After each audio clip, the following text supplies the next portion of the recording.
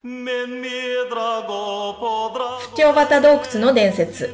ブルガリアの土地は隠された宝に恵まれています。ある手法は古代トラキア人、古代ローマ人やビザンチン人の時代から残っています。他にはオスマントルコ盗賊に埋められています。それ以上に持って帰れないほどの餌食になったら、後で取って帰ることを望みつつも、秘密の場所に埋めたという。そのようにブルガリアのハオドクとハントが困難な状況に陥った時に武器のために集めたお金で埋め尽くしていました。隠された宝が古い要塞、修道院、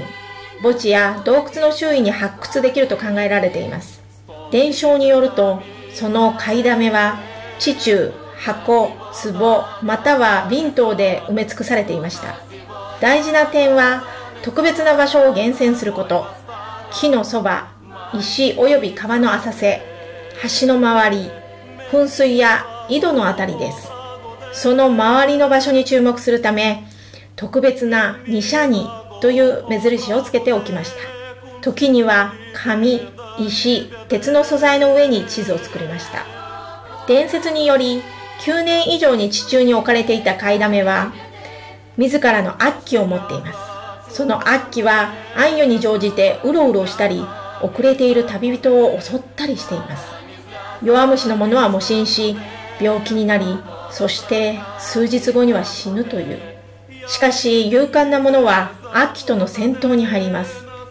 もし耳で捕まえることができ、早朝の最初になったメス鳥のところまで抑えられるとしたら、手のひらでは買いだめの壺の取っ手が変わって残ります。もしその宝は神様から誰かへ与えられたとしたら、その宝は無化され、夢の中で埋められた場所が開かれてきます。多くの場合、人々は自分のせいで買い騙しの犠牲になってしまうのです。今でもブルガリアの各地域に見つけた宝の呪いに襲われた財宝探しのものについて語っています。気が狂ったり死亡したりしていきますが、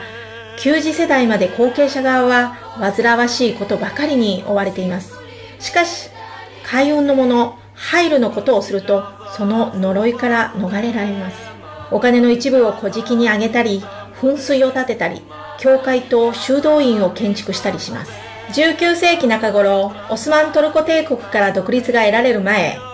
カルパチェボのオスマン交換は心根が良く、大変慈悲深い人になっていきました。オスマン交換は公平な判断で、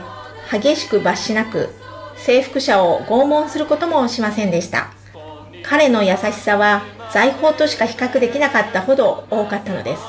お金持ちでもいくつかの村で数十人の召使いに耕された広い農地を持っていました。カルパチェボ村のフチョさんもそのオスマン交換の召使いであり、恩返しとして務めていました。フチョさんは頑張り屋で賢い人であり、交換はよく信頼していました。長い間、フチョさんは真面目に忠実に使い続けていました。独立の日の前の忙しい時期で、フチョさんが交換に優しくしてもらったお礼をしたいと決心しました。オスマン交換の逃げの草案に協力すると決め、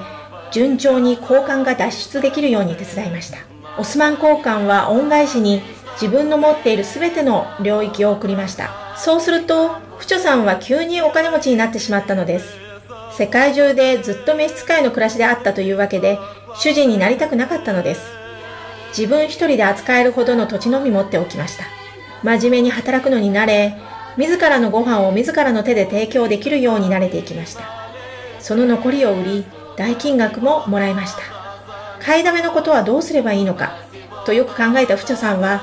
村から3キロ離れている洞窟に隠すと決心しました。